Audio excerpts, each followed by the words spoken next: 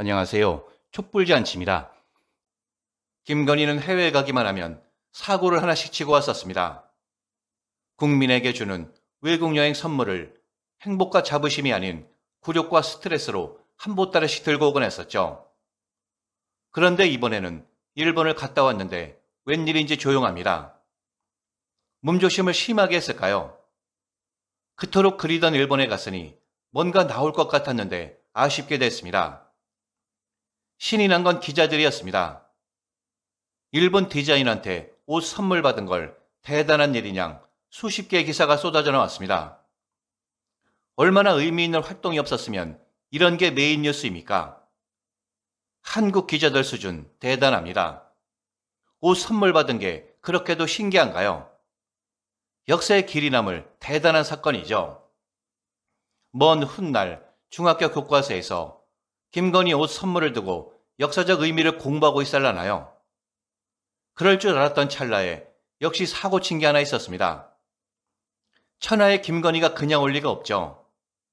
여러분, 김건희가 동경 한국학교에 간 걸 기억하실 겁니다. 김건희는 여기 가서 학생들과 사진 몇 장을 찍고 갔습니다. 왜 갔냐고요? 뉴스에도 별 내용이 없으니 그냥 간 것 같습니다. 저럴려면 많은 학생들과 선생님들을 피곤하게 하면서까지 왜 갔을까 한탄이 나옵니다.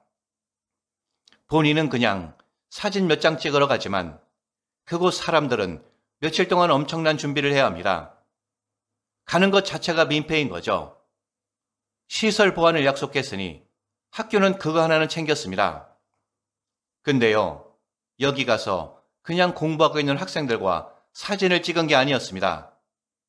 해당 학교는 당시 방학 중이어서 학생이 없었다고 합니다. 이 학생들은 지금 동원된 학생들이란 의혹이 있습니다. 이 소식을 한 학생의 학부모가 시민의 사이다란 유튜브 채널에 알려왔는데요. 지금 보시는 것이 그 학부모의 제보 내용입니다. 동경 한국학교 학부모입니다. 애들 봄방학인데 학교에서 전화와서 행사 있는데 참석할 수 있냐 해서 학급 임원이고 보내겠다고 하고 무슨 일이냐 물어보니 김건희 온다 해서 거부했습니다. 누가 반긴다고 그것도 방학 때 애들 동원시키게 만들고 다른 대통령이나 영부인이었다면 가문의 영광인이 보냈겠지만 김건희 윤석열 때문에 참석은 대대로 집안 망신일 것 같아 불참시켰네요. 어머니 아주 잘하셨습니다. 나 같아도 안 보냈을 겁니다. 해당 학교가 진짜 지금 방학인지 확인해 보니 사실이었습니다. 3월 7일 종업식을 하고 문제의 17일은 방학 중이었죠. 이 내용이 사실이라면 김건희는 굳이 방학 중이어서 학생이 없는 학교에 갔고 굳이 집에서 쉬고 있는 학생들을 불러내서 사진 찍고 간 겁니다. 그냥 선생님들만 만나고 시설 둘러보고 왔으면 될 걸 말이죠. 아마 학생들도 선생님들도 엄청 허탈하고 화가 났을 겁니다. 방학 중인 것이 사실이라면 의전 담당들은 이걸 몰랐을까요? 분명 알았을 겁니다. 윤석열과 김건희가 진정으로 국민을 위하는 대통령과 부인이었다면 일정을 만들지 않던지 아니면 가더라도 학생은 부르지 말라고 했을 겁니다. 학교에 간 마음이 선전이 아니고 진심이었다면 말이죠.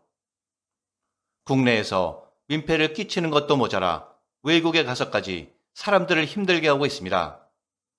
그것도 재외 국민인데 말이죠. 그들은 대한민국의 민간 외교관들입니다.